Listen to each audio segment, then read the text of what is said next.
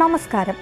യാത്രക്കിറങ്ങുമ്പോൾ വീട് പൂട്ടി അയൽ വീടുകളിൽ പറഞ്ഞേൽപ്പിക്കുകയോ പോലീസിൽ അറിയിക്കുകയോ ചെയ്യുന്ന ഒരു പതിവ് നമുക്കുണ്ട്.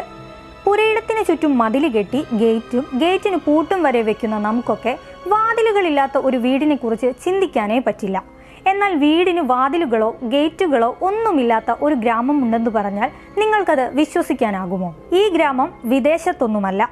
പറഞ്ഞു വന്നത് മഹാരാഷ്ട്രയിലെ അഹമ്മദ് നഗർ ജില്ലയിലുള്ള ശനി ശിംഖനാപൂർ ഗ്രാമത്തെക്കുറിച്ചാണ്. ഈ ഗ്രാമത്തിലെ വീടുകൾക്കോ കടകൾക്കോ ഒന്നും വാതിലുകളില്ല.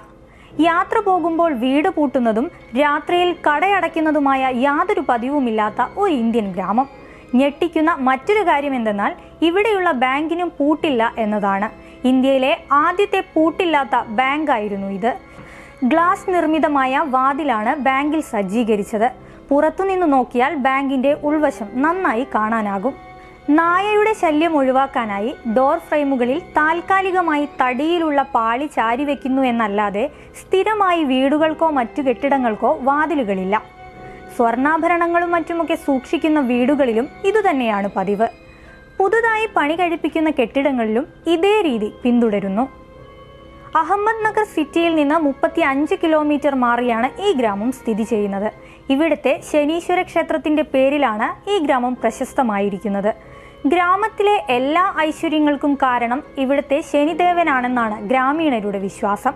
കള്ളന്മാരായി ആരെങ്കിലും വന്നാൽ ശനിദേവൻ അവർക്ക് വലിയ ശിക്ഷ നൽകുമെന്ന് ഗ്രാമീണർ ഉറച്ചു വിശ്വസിക്കുന്നു.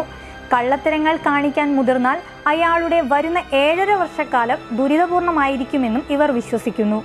ഇത് ഭയന്നിട്ടാവണം ആരും കുറ്റകൃത്യങ്ങൾക്ക് മുതിരാറില്ല. വീടുകളിൽ വാതിലും പൂട്ടും ഘടിപ്പിക്കാൻ ശ്രമിക്കുന്നവരെയും ദേവൻ ശിക്ഷിക്കുമെന്നുള്ള രസകരമായ മറ്റൊരു വിശ്വാസവും ഇവർക്കിടയിൽ നിലനിൽക്കുന്നുണ്ട്. ഇത് സ്ഥാപിക്കാൻ അവർ ഉദാഹരണവും നിരത്താറുണ്ട്. അതിലൊന്ന് ഇങ്ങനെയാണ്. ഒരിക്കൽ ഗ്രാമത്തിലെ ഒരാൾ തന്റെ വീട്ടിൽ വാതിൽ പിടിപ്പിക്കാൻ ഒരു ശ്രമം നടത്തി. തൊട്ടടുത്ത ദിവസം തന്നെ അയാൾ ഒരു അപകടത്തിൽപ്പെടുകയുണ്ടായി. ഇത് യാദൃച്ഛികമോ കെട്ടുകഥയോ ആയിരിക്കാം. പക്ഷേ ഗ്രാമീണരുടെ വിശ്വാസം അടിയുറച്ചതാണ്. വർഷങ്ങളായി ഗ്രാമീണർക്കിടയിലുള്ള വിശ്വാസത്തെ ചോദ്യം ചെയ്ത് ചിലർ രംഗത്ത് വന്നിട്ടുമുണ്ട്.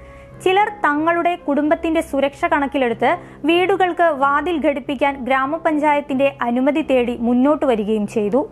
എന്നാലും ഭൂരിപക്ഷം പേരും തങ്ങളുടെ ഗ്രാമത്തെ ശനീശ്വരൻ കാത്തുകൊള്ളുമെന്ന് ഉറച്ചു വിശ്വസിക്കുന്നവരാണ്. വരും കാലത്തും തങ്ങൾക്കുമേൽ ശനീശ്വരൻ അനുഗ്രഹം ചൊരിയുമെന്നും അവർ വിശ്വസിക്കുന്നു.